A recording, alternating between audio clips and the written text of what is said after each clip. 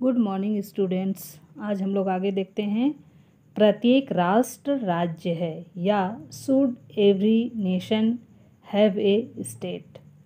यह क्या है, इसके बारे में हम लोग जानेंगे। राष्ट्र और राज्य शब्दों का एक ही अर्थ में प्रयोग करने से काफ़ी उलझन पैदा होता है, क्योंकि राजनीति शास्त्र में इन शब्दों का अर्थ अलग अलग है। गिल क्राइस्ट के शब्दों में एक राष्ट्र, राज्य तथा राष्ट्रीयता का योग है। इसका अर्थ यह नहीं है कि प्रत्येक राष्ट्र, राज्य है। दोनों के बीच निम्नलिखित अंतर मौजूद हैं। तो क्या क्या अंतर मौजूद है दोनों के बीच? राष्ट्र और राज्य के बीच। तो एक नंबर देखते हैं।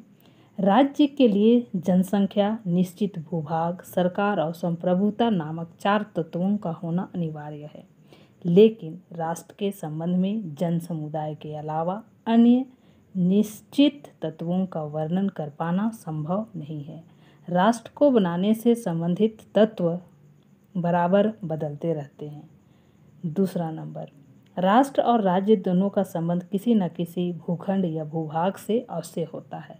फिर भी हमें यह ध्यान रखना चाहिए कि राज्य का भूभाग सदैव पूरी तरह सुनिश्चित होता है। लेकिन राष्ट्र के संबंध में ऐसा नहीं कहा जा सकता है। राष्ट्र राज्य की सीमाओं को पार करके अनेक राज्यों में भी फैला हुआ हो सकता है। इस संबंध में गार्नर का कहना है कि यदि राज्य को हम नस्ल संबंधी या भाषा संबंधी जनसमूह के रूप में मान ले तो राज्य की सीमाएँ राष्ट्र की सीमाओं से बाहर फैल सकती है और इसी तरह राष्ट्र की सीमाएँ राज्य की सीमाओं से अधिक विस्तृत हो सकती है। वस्तुतः दोनों की सीमाएँ बहुत कम एक होती है। उदाहरण के तौर पर फ्रांसीसी राष्ट्र फ्रांस राज्य की सीमाओं से बाहर भी फैला हुआ है। इसी तरह हिंदू राष्ट्र भारत के बाहर अनेक देशों में फैला हुआ है। यही बात अंग्रेज़, जर्मन का दूसरे राष्ट्रों पर लागू होती है। तीसरा नंबर, राज्य के पास सरकार और संप्रभुता होने से वह अपने आदेश को सभी व्यक्तियों या नागरिकों पर लागू कराता है। कोई नागरिक उसे मानने से इनकार करता है तो राज्य उसे दंडित करता है।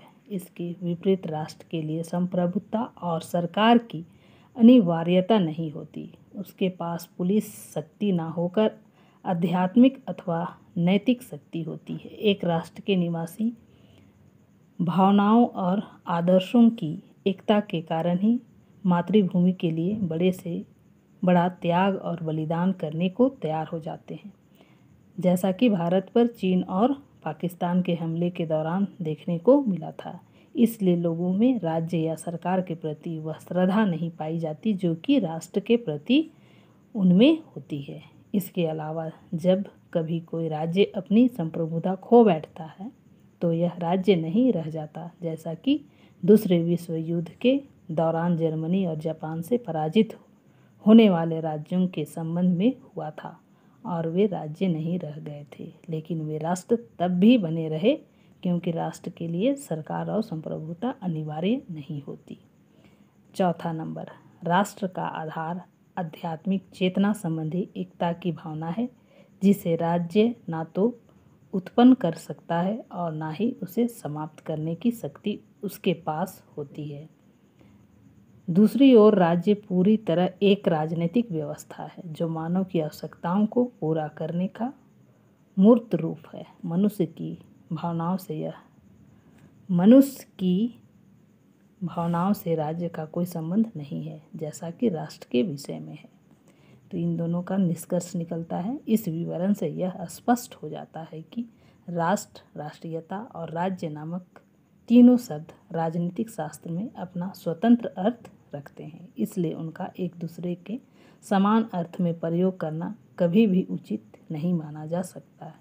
फिर भी हमें यह ध्यान रखना होगा कि इन तीनों शब्दों में समान रूप से और राष्ट्र तथा राष्ट्रीयता में विशेष रूप से बहुत गहरा संबंध मौजूद है। तो बच्चों, यह था